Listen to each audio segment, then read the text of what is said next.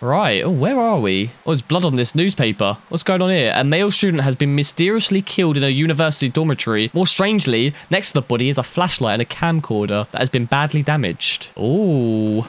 Hello? Anyone there? Hey, the phone is loud. Hello?